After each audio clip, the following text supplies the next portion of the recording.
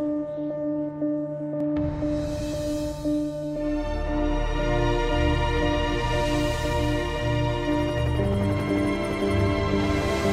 hundred four Alpha, take one. C.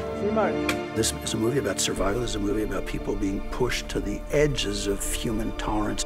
I don't think you could survive without falling in love. We have done eight days of work up here, 10,000 feet up. This place is beautiful but also dangerous.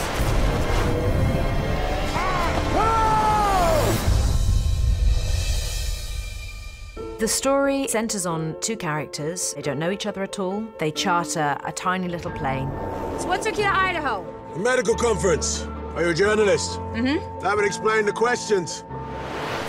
Water? Water? Oh my God!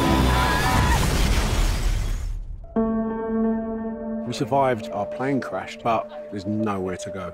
And that's where the story kicks off. Nobody knows where we are. All we have is me and you. They have no other choice than to work together in order to survive. Got the mark.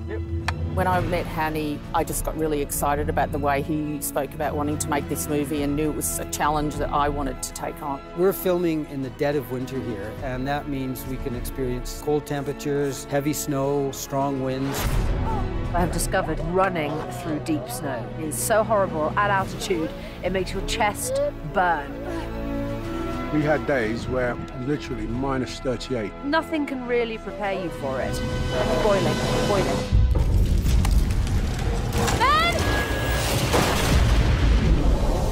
End of the day, the sun is going, it's cooling down, and we're throwing Academy Award winning actress Kate Winslet in this water in the middle of a snowy field. But you know what? None of it matters. It doesn't matter what it is you're being asked to do, you just have to get on with it. Ice anyone?